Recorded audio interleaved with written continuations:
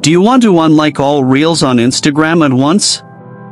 You can remove liked videos from Instagram with just a few simple steps.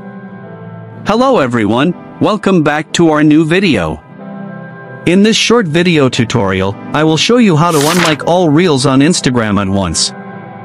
Just watch this video till the end, and do not forget to like this video and subscribe to this channel for more tutorials and tips video. Unlike all reels on Instagram at once is the action of removing your likes from multiple reels videos simultaneously.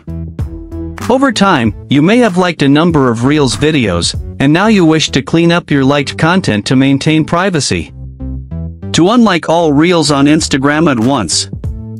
First, open the Instagram app on your mobile device.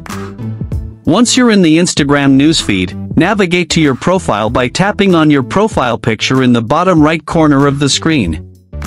Tap on the menu icon, which consists of three horizontal lines, located in the top right corner.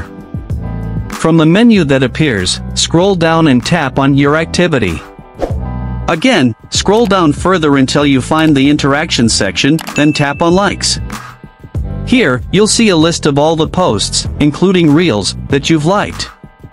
To filter and view only the Reels that you've liked, tap on the All Content Type filter at the top of the screen.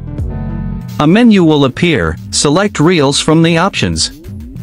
Now, you'll see only the Reels videos that you've liked. To unlike all Reels at once, either long press on a specific video or tap on Select from the top right corner of the screen. Now, tap on each reel that you want to unlike. Selected reels will have a check mark. Once you've selected all the reels you want to unlike, tap on the Unlike button located at the bottom of the screen. A pop-up menu will appear asking for confirmation, tap on Unlike. By following these simple steps you will remove your likes from all the selected reels at once. If you found this video helpful, please like the video and subscribe to this channel for more tutorials and tips.